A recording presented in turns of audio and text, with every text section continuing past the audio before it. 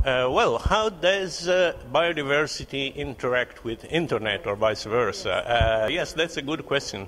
Uh, I would say uh, a lot because uh, in the past the main problem was for knowing biodiversity, for really appreciating biodiversity, was to find information on organisms, on animals, plants, whatever, which was difficult. You had to go into a library and you get books, and these books were difficult, difficult to find, and difficult to read.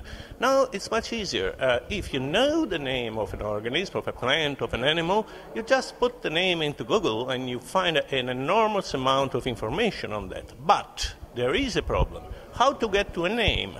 If I see a butterfly and I want to know the name of this butterfly, how can I do? And here again, internet is important.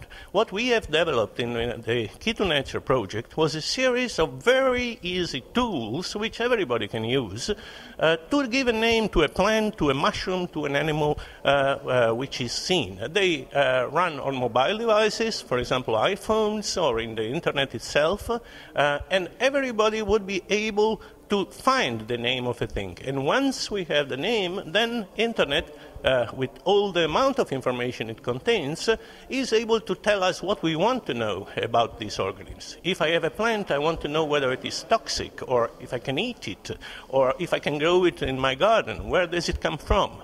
But if I don't know the name, I cannot know anything. Uh, and so this is a, a, possibility which we have opened. Schools especially, for schools, but not only, also for citizens. It's what they call now citizen science.